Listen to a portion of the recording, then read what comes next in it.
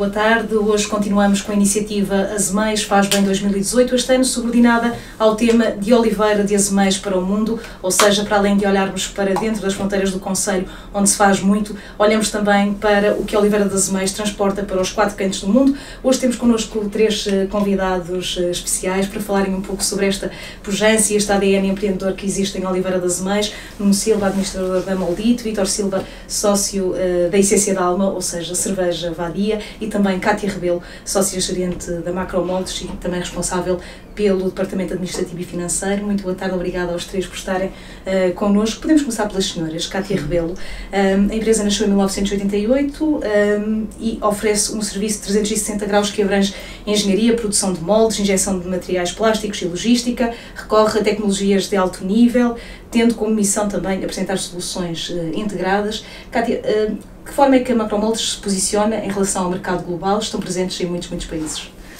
Sim, vamos lá ver. A Macromoldes faz parte de um grupo de empresas que efetivamente a Macromoldes é a empresa mãe, digamos assim, a empresa original, que depois uh, foi dando origem a que outras empresas aparecessem, algumas vezes por necessidades internas, outras vezes por necessidades que foram sendo fomentadas de fora para dentro, digamos assim. E portanto hoje uh, estamos num grupo de empresas que efetivamente o que nós tentamos apresentar ao cliente é uma solução integrada. Portanto, cada vez mais o mundo uh, encolheu ou continua a encolher, não é? E portanto, o cliente, se puder encontrar uma resposta uh, para várias problemáticas num sítio só, à partida vai ter maior dificuldade em, em abandonar esse parceiro. E portanto, aquilo que nós procuramos é efetivamente ser parceiros dos nossos clientes. Portanto, não sermos uh, só um vendedor de qualquer coisa, mas sobretudo ser um parceiro um, na procura de uma solução para uma problemática. Seja essa solução ao nível do molde, ou da injeção, ou da concepção do produto. Portanto, cada vez mais temos vindo a procurar estender a cadeia de valor. Portanto, uhum. esse tem sido um objetivo ao longo dos, dos últimos anos, é um, a extensão da cadeia de valor, de forma a potenciar a relação com, com o cliente uh, de forma transversal. Exato. Em que, em que, principais mercados é que estão uh, presentes? Uh, a Alemanha é um mercado muito forte, portanto, digamos que a grande maioria dos, dos, países com quem trabalhamos recorrentemente são países europeus, alguns deles nórdicos, um, mas temos, temos exceções. Este ano, por exemplo, estivemos a, a trabalhar com um parceiro na África do Sul, que é um país assim, um bocadinho fora do, do normal. Uh, a semana passada começámos uma relação com Cuba, que é outra, outra exceção, e portanto, mas sim, mas a, a grande concentração está nos países, digamos, de primeiro mundo, de primeira linha. A Alemanha é o país número um, normalmente, e depois temos uh, Inglaterra, Itália, França. Uhum. Sobretudo uh, o mercado europeu. Sobretudo o mercado europeu, sim. Exato. Eu pergunto, pergunto também, uh, Oliveira das Semeias e Portugal estão bem cotados lá fora? Conseguem-se vender bem? Eu acho que hum, Bem, hoje nós também temos vindo a usufruir da, da boa fama de Portugal noutros, noutras áreas, não é? E, portanto, se já tínhamos uma boa fama enquanto, enquanto fabricantes, eh, hoje podemos juntar essa boa fama a outra boa fama. Portanto, Portugal está na moda, efetivamente, e se nós, enquanto empresários, soubermos tirar proveito desse estar na moda, com certeza vamos conseguir juntar aqui o melhor de dois mundos. Mas sim, eu considero que Portu Portugal e, e, Oliveira das Meias em particular, nesta área em particular, é uma referência, é visto como uma referência e, portanto, é, é difícil a um parceiro trocar facilmente Oliveira das Meias por outro, por outro, outro fornecedor, por outro mercado. Agora, é preciso estar atento, não é? Da mesma maneira que Oliveira tem vindo, tem feito um bom trabalho e tem sabido um, desenvolver tecnologias, uh, dar novas soluções, encontrar novas soluções. Outras empresas o vão fazer, não é? E outros países que agora aparecem eh, vão, vão tentar seguir a mesma filosofia. Portanto, cada dia é um desafio para que efetivamente nós possamos continuar a manter esse, esse, esse bom referencial. Exato. Qual é o volume de exportação do grupo? Uh, cerca de 6 milhões, mais ou menos. Uhum. Muito bem. E já agora, balanço do ano que passou, 2017? Foi um ano interessante, sobretudo ao nível das novas parcerias, hum, de novos mercados eh, e de novas soluções. Portanto, nós procuramos a cada ano chegar ao fim do ano e ter acumulado algum know-how em alguma área específica. E, portanto, eu acho que 2017 deixou para nós algumas marcas interessantes ao nível do desenvolvimento de novas soluções. Uhum. E isso é o que depois vem trazer frutos a nível futuro, né? quando nós conseguimos fazer até transferência de tecnologias de uma indústria para a outra, e isso é uma das nossas marcas, é efetivamente não estarmos muito, um, não trabalhamos para uma indústria específica, para um setor em específico. Portanto, muitas vezes somos capazes de transferir tecnologia da indústria A para a indústria B e isso é reconhecido e tem uma mais-valia acrescida. Portanto, eu diria que 2017 deixou uh, know-how em novas soluções, o que é muito interessante para o futuro. Muito bem, muito obrigada, Cátia, por esta primeira introdução. Vamos agora falar com mais convidados. Nuno Silva, administrador da Moldit. A Moldit pertence ao Grupo Durit desde 1993, também tem sabido uh, manter-se e preparar-se para o futuro, uh, apostando na inovação de processos produtivos, de forma a torná-los mais interessantes e mais competitivos. Uh, também a mesma questão, como é que se posiciona a Moldit no mercado internacional? A posição da Moldit no mercado internacional é, é, a posição típica de uma indústria de moldes. A Moldit tem duas áreas, uma de moldes, outra de plásticos. Na área de moldes, eh, a nosso nível de exportação é quase total. Eh, nos plásticos, eh, basicamente é uma exportação indireta porque os nossos clientes também são eles próprios exportadores, embora logicamente a produção de plásticos é mais nacional nós produzimos para abastecer clientes portugueses, clientes nacionais, que, que depois exportam o seu produto. Um, eh, nós trabalhamos também com a Europa, é, a semelhança da, da Macro, é, é exatamente o, Alemanha, Espanha, França são os nossos mercados tradicionais, mas hoje existem muitos outros mercados que têm aberto, nomeadamente mercados da Europa de mais leste, o México, que é um mercado que está muito desenvolvido. No nosso caso, como trabalhamos essencialmente para a indústria automóvel, na área dos moldes, uh, o, o, mercado mexicano é um mercado que está em grande crescimento, uh, porque realmente tem um, um nível de, de, de, de uma, um conjunto muito largo de montadoras automóveis. também a África do Sul, que agora se tem desenvolvido, aliás, o, o, atualmente o presidente da Associação Mundial de Produtores de Moldes é sul-africano e, portanto, isso dá uma ideia de, do interesse que esse mercado está, está, está a, a, trazer ao setor. Uh, e pronto, e lidamos com, com, com muito, muitos países da Europa, fora da Europa e uh, basicamente estamos virados para a exportação. Exato. Qual é o volume de exportação?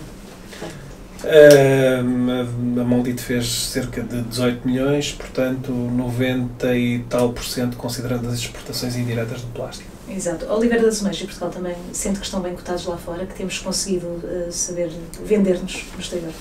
Sim, eu acho que até Portugal está um bocadinho na moda. Eu até diria que quase que exageramos nessa moda e, portanto, uh, acredito que nesta altura alguns setores estão muito bem cotados Portugal tem conseguido vender-se eh, também um pouco por esta uh, atividade da, da, das áreas do empreendedorismo, uh, tudo aquilo que, foi criado à volta do turismo nas nossas principais cidades, que depois leva também a que olhem para nós de uma forma um pouco diferente. vêm reconhecendo também a indústria de moldes, uhum. plásticos, é, é, reconhecida há muitos anos e nós temos uma imagem internacional muito forte mas todo, toda, todo, todas as indústrias têm vindo a aproveitar um pouco esta, esta, este andamento uh, que nós temos uh, ganho nos últimos anos. Uhum, exatamente. Eu pergunto também, no ano passado a Maldita empregava 180 pessoas, penso eu, esse número mantém-se, cresceu? Tem crescido ah, na medida daquilo que é possível recrutar nesta altura e, portanto, esse é o, o grande desafio da nossa, dos nossos tempos, é uh, a falta de mão de obra e uh, o desafio da, da re, requalificação da mão de obra que temos. Porque esse é claramente um desafio que nós vamos enfrentar nos próximos anos. Exato. Já agora balanço também, 2017, como correu? O, o ano 2017 foi um ano de crescimento para nós, crescimento importante e, acima de tudo, do desenvolvimento de áreas, eh, de, de, de muitos projetos de inovação, de áreas tecnológicas também importantes, eh, que nos têm permitido chegar a alguns mercados mais uh, com valor acrescentado maior, principalmente. Uhum. Como é que está o setor dos moldes? Está, está, está bom, está bem. O setor dos moldes tem, tem apresentado números interessantes, cresceu muito nos últimos 10 anos. Nós aumentámos, eu agora já não tenho de cor os números, mas eu creio que o Manuel Oliveira da Cefamol já apresentou aqui esses números. Nós tivemos níveis de crescimento muito acentuados quer na empregabilidade, quer nas exportações, quer na produção. Eh, nós temos tecnologia da indústria 4.0 há muitos anos e, portanto, temos aí um desenvolvimento muito grande. O setor é um setor, eh, não sendo em termos de volume eh, um, um setor extremamente representativo, é crítico na cadeia nesta cadeia de produção e, portanto, é, é fundamental, quer para o nosso país, quer para depois para os mercados que nos compram. Muito bem, muito obrigada também por estas primeiras palavras. Passamos a Vítor Silva, sócio da Essência da Alma, empresa que produz a cerveja Badia em Nocela, uma empresa, uma cerveja já bastante conhecida. Nasceu há 11 anos, mas a empresa apenas depois foi criada em 2010, 2010 penso eu. Uh, e apesar de se entrar ainda no mercado nacional, também já têm percebido a importância de se expandirem e celebraram recentemente uma parceria com a Cerveja Albanos do Brasil. Falar um bocadinho uh, nesta, nesta vertente, Vítor, uh, sobre a cerveja Badia, como é que tem sido ultimamente a vossa atividade. Um, antes mais, obrigado por, nos convidarem. Muito boa tarde a todos. Um, é, curiosamente, nós produzimos um, temos um produto que é artesanal, uh, muito de cariz local, no entanto, uh, com uma vertente tecnológica muito acentuada. Ou seja, uh, os equipamentos que nós produzimos são, têm, têm, são todos com, com uma elevada tecnologia. Nós começamos eh, em 2010 eh, pensando, pensando que, obviamente, que o nosso mercado seria um mercado nacional eh, e, obviamente, começamos, começamos localmente, temos vindo a crescer, mas sempre focados também, muito rapidamente percebemos que precisamos das exportações. Uh, se queremos uh, crescer, se queremos, uh, portanto, amadurecer, isso só vai acontecer no momento em que grande parte ou uma, uma parte das nossas vendas esteja ligada à exportação. para isso, o primeiro passo foi portanto, a qualidade e diversidade do produto, depois, a estabilidade. Nossa preocupação foi, portanto, criar portanto, um produto estável que nos permita colocá-lo em qualquer parte do mundo um, e agora tem sido, portanto, o volume. Ou seja, nós estamos neste momento, uh, portanto, vamos duplicar em uh, meados ou finais de julho, vamos duplicar a nossa capacidade, mais uma vez, curiosamente temos vindo a fazer todos os anos, e sempre que pensamos que, que é por que ficamos por ali, chegamos à conclusão que não chega e temos de aumentar. É um sufoco financeiro, mas, portanto, virá a dar frutos. Um, portanto, nós, nós neste momento temos uma capacidade de cerca de 170 mil litros anuais, vamos passar para cerca de 400 aí sim já podemos pensar em exportação. Uh, com isso, portanto, nós, entretanto, candidatamos e, e portanto, a, um, a um financiamento comunitário para um projeto de internacionalização, a um de inovação, portanto, uh, que, nos vai, que nos está a permitir aumentar essa capacidade de produção, e o outro internacionalização, então, que será, obviamente, o culminar de tudo isto. Um, para isso, nós pensávamos, é curioso, nós pensávamos inicialmente que o nosso mercado de exportação seria uns palopes, e seria, digamos, o mercado da saudade. Os portugueses lá fora hum, vemos que não vai ser assim. Os palopes agora, acho que já ninguém consegue exportar, pelo menos para Angola eh, é muito difícil exportar para lá, não quer dizer que não, não volta a acontecer. Um, mas, portanto, o, o, o, mercado da imigração também não é propriamente o nosso mercado. Nós produzimos um produto eh, com bastante qualidade, mas um preço um bocadinho acima daquele que as pessoas estão habituadas a associar à cerveja. Uh, e curiosamente não é esse não é esse produto que os nossos imigrantes procuram. Uh, nós vendemos sim, porque nós, apesar de ainda ser residual, já exportamos. Uh, portanto, exportamos sobretudo para apreciadores de cerveja, portanto, em países onde a cerveja tem tradição. Estamos a falar da Bélgica, estamos a falar, portanto, da Alemanha, pronto, aí alguns países também com, com bastante imigração, mas eu acredito que o mercado não seja o português, Luxemburgo, Suíça também, e, e este, portanto, isto vai ser, e agora falou também, falou na questão do Brasil, uh, será, será, digamos, se calhar o país onde nós vamos investir mais. Nós, muito recentemente, fizemos uma parceria com uma cervejeira brasileira, curiosamente por mês produz tanto como nós produzimos por ano, é uma escala completamente diferente. Um, nós vamos produzir cervejas um, desses brasileiros, dessa empresa brasileira aqui, e eles vão produzir as nossas lá, portanto vamos tentar reduzir, uh, diminuir um bocadinho os custos portanto, do transporte e os custos alfandegários, obviamente. Exato, eles já estiveram cá e juntaram-se para fazer Sim, uma cerveja para diferente. fazer uma cerveja. Normalmente estas parcerias celebram-se com cerveja. é verdade. Nós produzimos duas cervejas, portanto uma delas até um, que já, já temos nas nossas torneiras, uh, uma Vita, ou seja, uma cerveja de trigo uh, ao estilo belga, um, que uh, portanto foi produzida com casca de lima e laranja amarga. Esta lima foi muito para celebrar então esta ligação ao Brasil, portanto aquilo que é usado, que é muito associado à caipirinha, portanto nós utilizamos na produção de cerveja.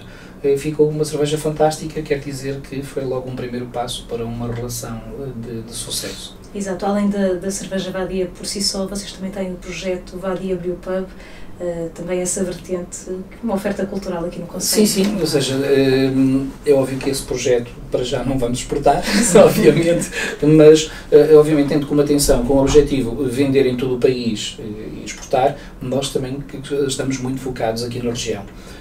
O projeto Vadia Brew Pub é, permite-nos, portanto, criar, manter esta ligação da cerveja vadia à terra ao Celo, Oliveira das Mães, à região, pronto, ao distrito, não é? porque nós não nos queremos manter, uh, acreditamos, e não acreditamos, mas temos a certeza que os nossos clientes, curiosamente, já vêm de um raio de pelo menos 50 km.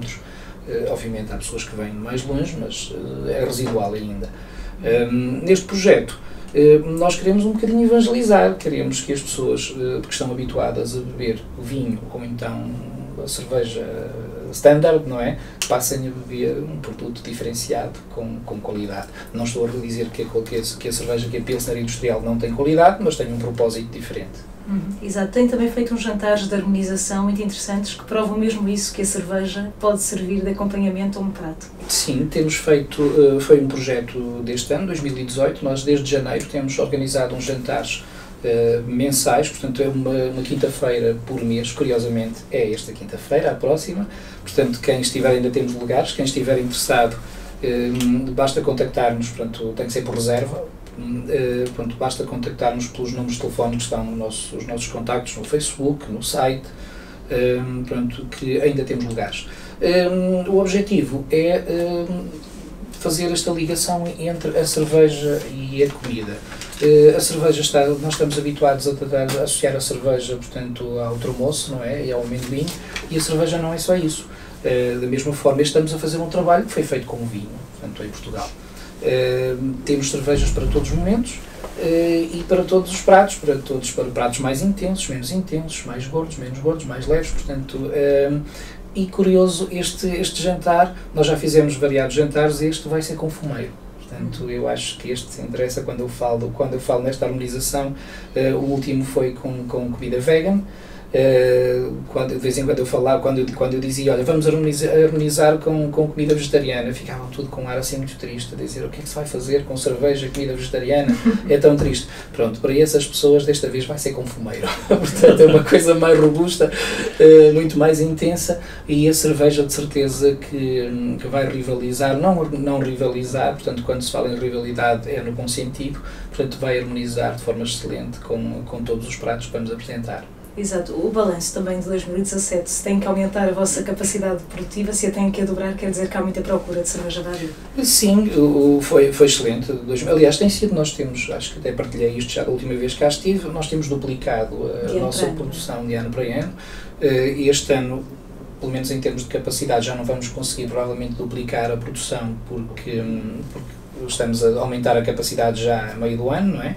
E curiosamente vamos aumentar na altura do defeso, eh, porque o é outubro, novembro e dezembro, dezembro é bom, mas setembro, outubro e novembro já não são meses tão interessantes, eh, mas curiosamente nesta altura nós já praticamente não temos cerveja para vender, ou seja, neste momento nós não conseguimos satisfazer novos clientes porque temos falta de produto.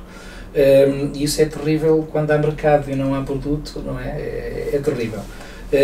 Portanto, eh, todos os anos temos sentido isto. Isto não significa que, que tenhamos um lucro brutal. Quem é empresário sabe isso, duplicar a produção, duplicar a capacidade, não é necessariamente duplicar os lucros. Portanto, até amortizarmos os investimentos ainda falta muito. Mas, portanto, acreditamos que quando pararmos este investimento todo, que as coisas vão, vão, vai ser sorridente, vai ser bom. Exato, muito obrigada, Vitor, também por esta apresentação inicial. Agora gostava de lançar mesmo um ou dois temas assim para a mesa e poderem mesmo debatê-los, não precisa ser por uma ordem específica, pela ordem em que começamos. Falar sobre as dificuldades eh, ou os desafios que enfrenta o tecido, o tecido empresarial, as empresas. Já falamos aqui de alguns, a mão de obra, por exemplo, que acho que continua a ser transversal de ano para ano. Falamos sempre da falta de mão de obra, tanto qualificada como não qualificada para as empresas. Também a questão do investimento, apesar de ser, depois de haver retorno, é necessário também haver esse fundo de maneio antes gostava que, que debatessem, que partilhassem também quais é que consideram que são dificuldades que também se podem tornar depois em oportunidades, muitas vezes. É isso que também define o ADN empreendedor, em específico desta região da Oliveira das Meias. As senhoras primeiro. um, não, quer dizer, e sem dúvida é, é chover um bocadinho no molhado, como se costuma dizer, mas é verdade, eu acho que isso já foi aqui dito e eu acho que, portanto, a grande dificuldade que nós sentimos o que temos vindo a sentir nos últimos anos e que com certeza será o mote para os próximos. Não sei se na cerveja acontece a mesma coisa, mas já que foi referido nos moldes, é efetivamente a questão da mão de obra e, portanto, a qualificação e a requalificação da mão de obra, porque mesmo aquela mão de obra que hoje é qualificada, amanhã pode já não ser, porque hum, estamos a falar de uma indústria que evolui muito rápido, não é? em que as exigências tecnológicas são efetivamente avassaladoras e, portanto, o que é verdade hoje, amanhã pode já não ser, ou pelo menos já não exatamente com a mesma certeza que o é hoje.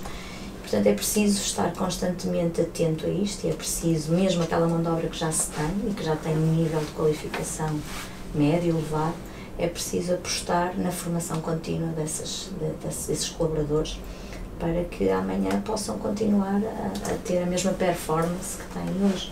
Portanto, esse é sem dúvida é sem dúvida a questão número um, penso eu.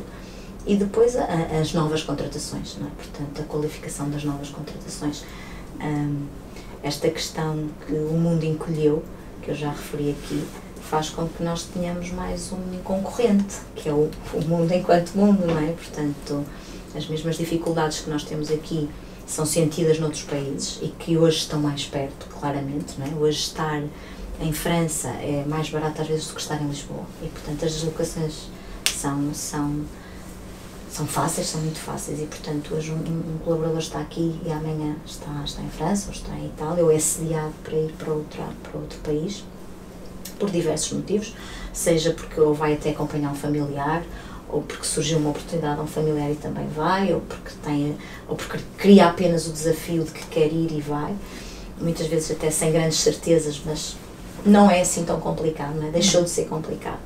Portanto, como deixou de ser complicado e realmente as necessidades que nós temos aqui são sentidas uh, ainda com mais ênfase lá fora, um, esta questão de que o mundo encolheu é mais um concorrente e, portanto, nós temos que olhar com, com, com muito respeito para esta, para esta questão uh, e perceber muito bem como é que se motivam as pessoas, como é que se faz ver aos colaboradores.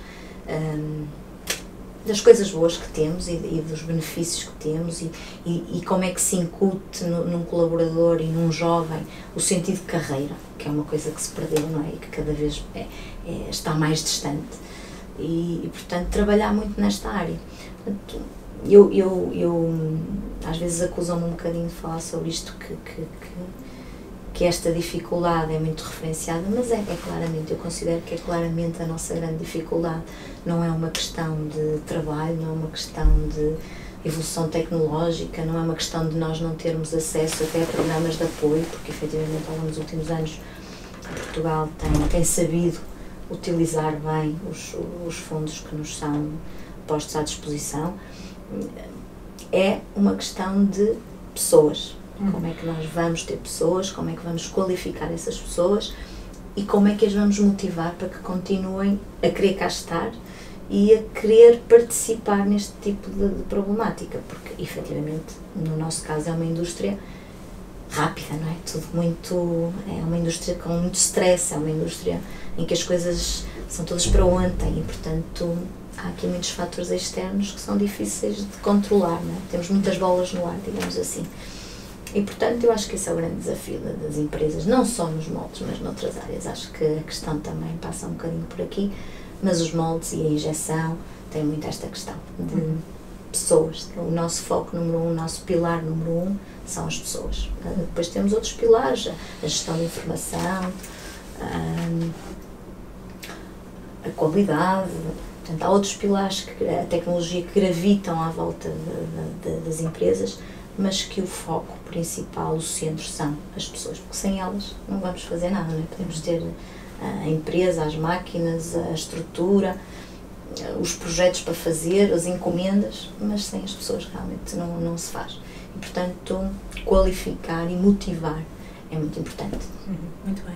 Muito bem as palavras. É, eu, eu, complementava aqui, uh, concordo perfeitamente com, com o que disse, mas complementava aqui com mais duas ou três questões. Uma delas uh, é que uh, nós estamos numa fase da, da nossa história industrial em que temos muitas PMEs em que o nível de maturidade dos seus gestores uh, está na fase crítica, ou seja, estamos na fase de mudança, estamos na fase de, de, de, de sucessão e é preciso haver muita capacidade para saber gerir estes processos. Até porque eles são os primeiros responsáveis por aquilo que vai acontecer dentro das empresas e eh, relacionado com tudo desde a tecnologia, mas principalmente com as pessoas que realmente são aqueles que funcionam. Então, quando toda a gente estava à espera que os robôs viessem substituir as pessoas, isso não acontece. Aliás, está provado que as empresas que quando contratam, quando uh, compram tecnologia, nomeadamente uh, tecnologia que vem substituir determinadas tarefas manuais, acabam por ter outras tarefas mais interessantes e aumentam o, o número de, de, recursos humanos que necessitam para satisfazer aquilo que é o trabalho necessário para pôr as máquinas a funcionar. Uh, e portanto, eu acho que aqui da, da área do management há, há um trabalho muito grande a fazer e nós estamos aí um bocadinho atrás porque acho que eh, os nossos empreendedores, que foram muitos, eh, estão numa fase em que não alguns deles não conseguem dar o salto e é preciso realmente dar um salto para uma profissionalização desta área. Nomeadamente é preciso dar valor hoje a algumas funções que não eram dadas antes, que não era dado antes. Eh, há 10 anos pouquíssimas PMEs tinham um gestor de recursos humanos.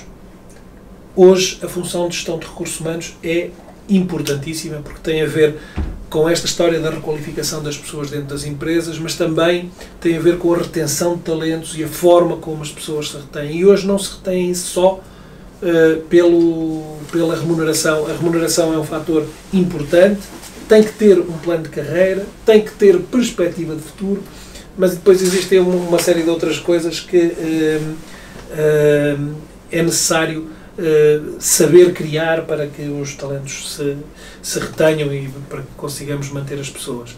Até porque hoje, como diz, o mundo é mais curto e hoje as pessoas facilmente se movimentam. Mas há aqui outra, outra questão importante, que tem a ver com a dificuldade com que as crianças e os jovens olham para a indústria. Isto tem muito a ver com os pais, mas também tem a ver com as políticas que são definidas para, para a, a nossa educação. E, uh, mais ou menos, está, estamos a viver uma fase em que uh, quer os, os, as crianças, quer os jovens, quer uh, quem decide, quem toma decisões sobre a educação, não prepara claramente as, os, as crianças e os jovens para a indústria. Um, e não prepara de que forma? Porque não, não há uma, uma, um esforço para motivar as crianças e os jovens a seguirem carreiras industriais. Eh, porque hoje uma carreira industrial é uma carreira que pode ser muito interessante, pode ser motivadora, logicamente que tem que estar num ambiente interessante, num ambiente motivador, aquelas, aquela indústria clássica que ainda existe alguma, escura, fechada, suja, é uma, é uma coisa que está em transformação e que vai acabar claramente. E, e portanto é preciso motivar esta gente para que quando chega ao final da sua formação ou quando chega a uma fase intermédia da sua formação possa optar por um trabalho mais industrial, mais produtivo. Depois há uma outra questão que está é que os processos produtivos estão numa mutação uh, muito grande. O, o, a tecnologia evolui de tal forma eh, que, por exemplo, um colaborador que nós temos e que hoje domina perfeitamente uma tecnologia, por exemplo, de fresagem, dou aqui como exemplo, daqui a muito pouco tempo, daqui a meses, vai ter que dominar duas, porque o seu equipamento já não vai só fresar, mas vai fresar e vai fazer hum, uma produção aditiva por laser ou qualquer coisa assim do género. E, portanto, há aqui uma necessidade recorrente de criar uma reabilitação, uma requalificação das pessoas. Hum, eu creio que o desafio sobre as pessoas é mesmo muito grande. Só agora mais uma coisa. É, é que existem depois outras coisas que vêm a reboque. Por exemplo, a questão da informática ou dos sistemas de informação, que até agora as empresas tinham lá um técnicozinho ou uma empresa que lhes fazia. Hoje, isto, este, este, estas funções estão a crescer de tal forma. Tudo o que é, uh, por causa da automatização dos sistemas, de tudo o que se fala sobre a IoT, ou seja, a Internet of the Things e a indústria 4.0, etc., nós hoje temos uma necessidade enorme de sistemas de informação e de pessoas que liderem estes processos. E, portanto, há, há uma série de funções novas, além de todas aquelas que falou, da qualidade, etc. Portanto, eu creio que os desafios são muito grandes, vão continuar a ser muito grandes para quem eh, os tiver que enfrentar nos próximos tempos. Muito bem. Vítor, também, umas palavras. É curioso. Eh, a vossa principal preocupação não é tanto a nossa. Uh, porquê? Porque os recursos humanos não são propriamente o nosso problema. Nós somos uma empresa muito pequena, não é? Nós somos oito. Uh, e no, no, que respeita à produção de cerveja, felizmente, logo desde o início tivemos a sorte de, de, de nos baterem à porta pronto, as pessoas certas. Um, e, e, temos tido, temos funcionários, temos colaboradores excelentes.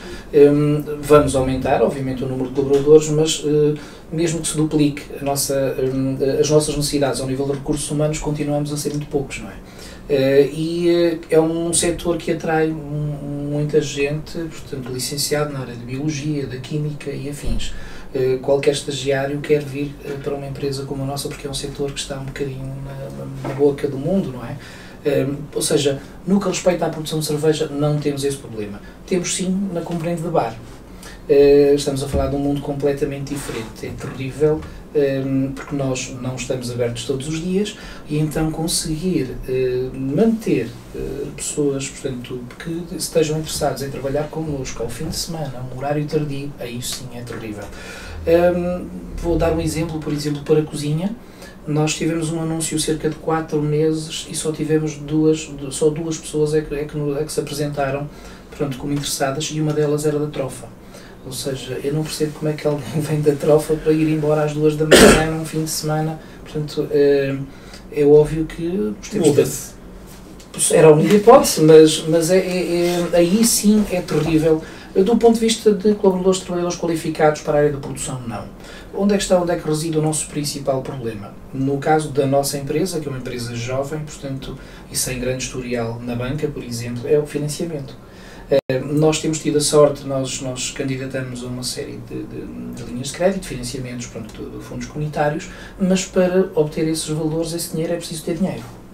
Uh, e a dificuldade está em conseguir financiamento para obter esse financiamento. Portanto, a banca olha para nós, não é? Com, com olhos assim muito estranhos, somos de um setor que não tem tradição, um, portanto, lá está, uma empresa sem historial, uh, que fala que já movimenta pronto, para, a dimensão nós temos para o número de colaboradores já de movimento alguns valores, uh, e então tem sido terrível. Nós temos conseguido, não é? mas, mas com uma dificuldade enorme, uh, poderia ser tudo, tudo, muito mais fácil. Ainda por cima, nós uh, criamos a nossa empresa numa altura de crise terrível, ou seja, uma área de negócio nova, a, necessidade, a necessitar de crédito, de financiamento, de investimento, numa altura em que a banca não empresta dinheiro a ninguém, portanto é só loucos.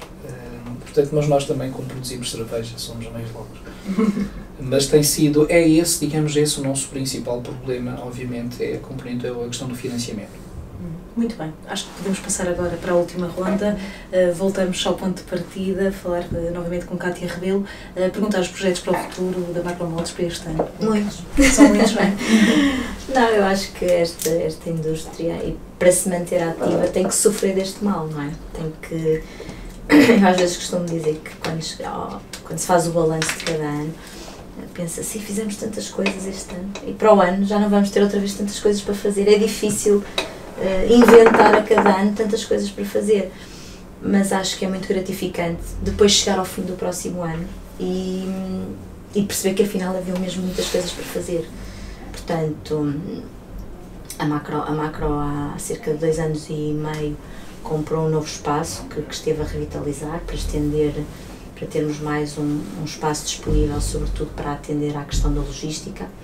Uh, e, portanto, construímos um pavilhão com 8.500 metros quadrados de área de implantação, onde temos neste momento que faz o nosso apoio logístico a matérias-primas, a produto acabado. E, portanto, digamos que esse foi um projeto relevante dos últimos dois anos e, e qualquer coisa, mas que estamos quase em fase de conclusão. E, portanto, começa-se a pensar no próximo é sem dúvida uma, uma característica destes últimos, a Macro, que a empresa não faz este ano 30 anos, e portanto ao longo destes 30 anos tem sido uma, uma característica constante esta preocupação e esta procura de para o ano temos que fazer mais qualquer coisa e temos que ou é a compra de um equipamento específico ou é uma nova tecnologia ou é um novo espaço ou é seja o que for, mas é importante manter este focus e esta estratégia de mais qualquer coisa para fazer, porque hum, isso sem dúvida é o que faz a máquina andar, não é? E portanto é impensável numa indústria deste tipo parar ou ter um ano em que se diz, não, pronto, agora vamos aqui sossegar um ano ou dois e ver o que é que acontece. Não, não pode ser. Portanto, há que. É difícil às vezes, não é? Porque é cansativo, não é? Não, não, não, não se pode dizer o contrário. Manter esta ter este foco de necessidade, que, que isto é uma necessidade e que, portanto, se assim não for, muito rapidamente outros, outros vão, vão passar, porque é, temos muitos, muitos países que estão agora a aparecer e muitos, muitos concorrentes que, que não existiam e que agora que existem e que têm as mesmas necessidades que fizeram com que nós nos movimentássemos há uns anos atrás começam a, a ter a, a países há países e pessoas nesses países que procuram as mesmas as mesmas condições que nós temos hoje em dia, que atingimos em Portugal hoje em dia e que não queremos perder, não é? Portanto, para não perder, há que pensar todos os dias o que é que se vai fazer amanhã e depois de amanhã e para o mês que vem. E, e, portanto, chegar ao fim de cada ano e olhar para trás e estar consciente que se fez realmente qualquer coisa de novo, porque quando assim não for, não, não é bom sinal. Exato. No final de 2017 e também no início de 2018, o Oliveira das Meias recebeu uh, vários representantes uh, do Estado. Tivemos Marcelo Rebelo de Sousa, Presidente da República, também Ministro da Economia e ainda a Secretária da Indústria. Uh, estiveram cá e elogiaram Oliveira das Meias pela sua pujança, pelo seu tecido empresarial. Também umas palavras em relação a este Conselho. Faz sentido falar de Oliveira das Meias para o mundo? Eu acho que faz todo sentido, quer dizer, eu acho que nós, ah, à escala que temos, não é? Somos realmente um conselho relevante, hum, portanto, daqui sai muita coisa, não é? Se nós pensarmos que meia dúzia de empresas, ou 20 ou 30 ou que sejam, no, no Conselho, hum, movimentam hum, valores significativos e, sobretudo, põe Portugal no mapa mundo. Portanto, Oliveira Meias põe Portugal no mapa mundo. A qualidade do trabalho que aqui se faz e o reconhecimento desse, desse trabalho é mundial. E, portanto, quando nós mandamos qualquer coisa para o Taiwan, ou quando mandamos para a África do Sul, ou quando mandamos. E, e, e temos orgulho em escrever Made in Portugal, não é? efetivamente nós estamos a pôr o, o, nosso carinho de Made in Portugal para o outro lado do mundo. Eu acho que a Oliveira das Meias merece todo o reconhecimento, os empresários, as pessoas, os colaboradores, as pessoas que estão envolvidas no trabalho que nós exportamos diariamente, merecem esse reconhecimento e, portanto, eu acho que fez todo o sentido estas visitas, acho que devem haver mais, acho que, que é um conselho hum, diferen, diferenciador de, de, uhum. Portugal e, portanto, merece todo esse respeito. As pessoas que cá estão acho que, que merecem essa, essa atenção por parte de quem é devido. Muito bem. Está a ter nesta fase final uma mensagem que gostasse de deixar? Uh, bem, quer dizer, hum, não tinha pensado assim nenhuma mensagem, mas um, se algum dos nossos colaboradores nos estiver a ouvir, uh, apesar de eu não ter publicitado uh, a minha vinda cá, hum, deixar-lhes esta mensagem de que connosco poderão continuar a, a, contar com o nosso empenho, no sentido de amanhã fazermos melhor do que hoje e, portanto, e procurarmos continuar a crescer no bom sentido, de forma sustentada e Uma das coisas que, que, que, me agrada muito ao escutar nos nossos colaboradores é que no, nas respostas que vamos tendo aos inquéritos de satisfação é que sentem na macro um, uma empresa ou um grupo com futuro. E, portanto, essa é a nossa perspectiva. Portanto, para eles essa palavra e para o Conselho também e para as pessoas que nos estão a ouvir, um, deixar essa mensagem de que temos vontade de continuar a fazer coisas em Oliveira das Mães. Muito bem, muito obrigada, Cátia, por estas palavras. Obrigada. Nuno, projetos para o futuro da Maldito também. Um, a Maldito tem um plano de crescimento que está definido. Vamos ter um, um também estamos a construir um edifício novo, ou vamos começar, já estamos a, a, nas preparações de construção do novo edifício para uma nova fábrica de injeção de plásticos, que é a área onde nós estamos a, apostar maior crescimento. Uh, e na área dos moldes, uh, vamos continuar a apostar no desenvolvimento da produtividade e, acima de tudo, na inovação que é onde estamos a trabalhar mais e, portanto, temos muitos projetos ativos de inovação, estamos a trabalhar com muitos parceiros né, do sistema científico e tecnológico em Portugal, mas também fora, no estrangeiro, e, portanto, uh, temos um projeto de crescimento sustentado na produtividade, na capacidade e na inovação. Exatamente. Também umas palavras em relação a este ADN empreendedor dos oliveirenses, que é reconhecido eu, eu coloco já aqui uma ressalva. Eu não sou oliveirense. eu também não, atenção. Eu não sou oliveirense. Não está aqui nenhum oliveirense. Mas estamos cá. Mas, mas passo uma parte importante do meu tempo em Oliveira das Mães. E, e, e aliás, gosto muito do conceito de Oliveira das Mães. Oliveira, Oliveira das Mães tem uma marca própria no panorama, e estamos a falar de, de empresas industriais, no panorama industrial e não só, mas no panorama industrial tem uma marca muito própria.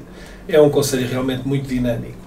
Tem algumas características eh, que eu reconheço, sendo não sendo oliveirense, que é tem muitos eh, empreendedores, muitos empresários locais e também alguns que, sendo à volta, vêm fazer as suas atividades dentro do Conselho. O Conselho é um Conselho grande Ehm, e que eh, criou realmente aqui uma, uma tendência eh, para esta capacidade de produção, de criação de negócios ehm, e de especialização, porque logicamente sabemos que há aqui três ou quatro negócios.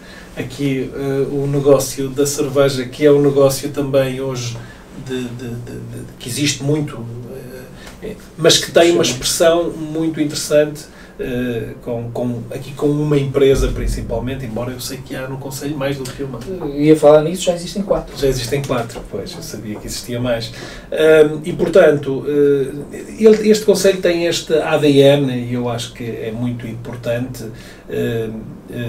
dinamizá-lo e e, e, e, e, fazer com que ele seja realmente muito visível Uh, e também creio que as entidades estão atentas a isso, nomeadamente o nosso governo.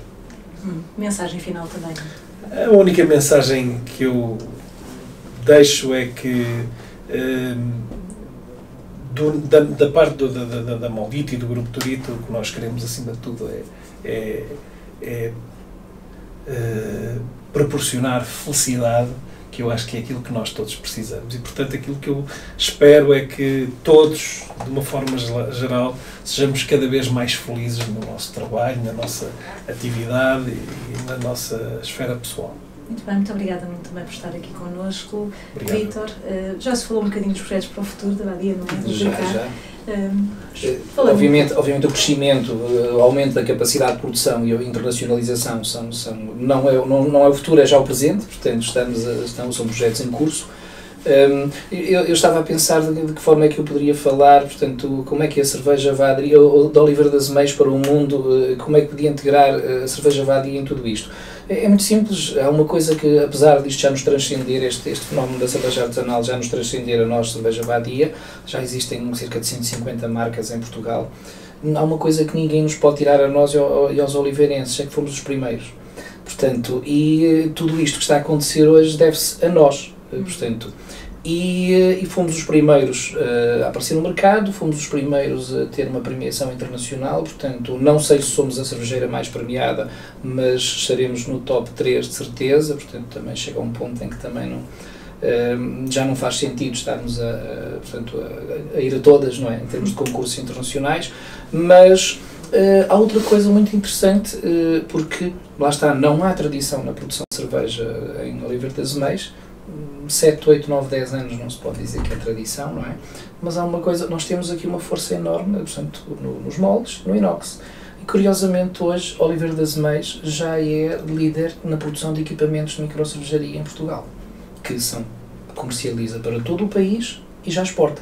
Ou seja, nós, todo o know-how que nós transmitimos, por um lado, uh, obviamente, demos força ao mercado, mas este, este hoje estes equipamentos que estão a ser construídos e estão a ser comercializados também se devem a nós. Portanto, nós transmitimos, ensinamos às, às empresas que produzem eh, estes equipamentos, portanto, ensinamos, demos-lhe conhecimentos sobre cervejaria e de que modo é que eles podiam aplicar os seus conhecimentos e as suas tecnologias na produção dos equipamentos de, de, de, para a cervejaria.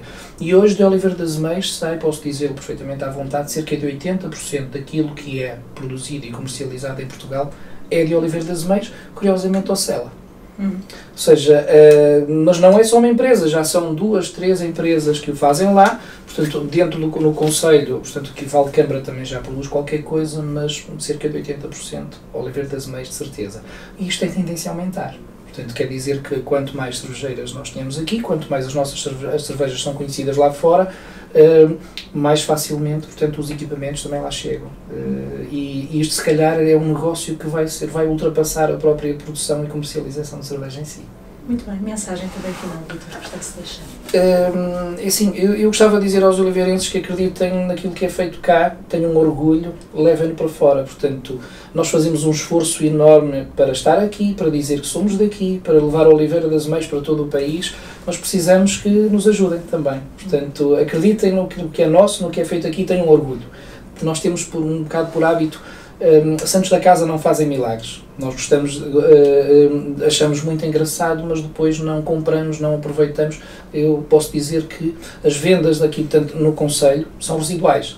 Portanto, o que quer dizer que nós achamos, toda a gente acha a cerveja vadia espetacular, mas provavelmente vão comprar outra coisa qualquer, não sei porquê. Portanto, acreditem no que é feito cá, no que é nosso, que tem qualidade. Muito bem, muito obrigada também, Vítor, por estas palavras. Aliás, agradeço aos três convidados por estarem aqui connosco. Terminamos assim mais uma mesa de conversa Azemais Faz Bem 2018, este ano subordinado ao tema de Oliveira de Azemais para o Mundo. Para a semana, à mesma hora, estaremos de volta com uma nova mesa de convidados. Boa tarde.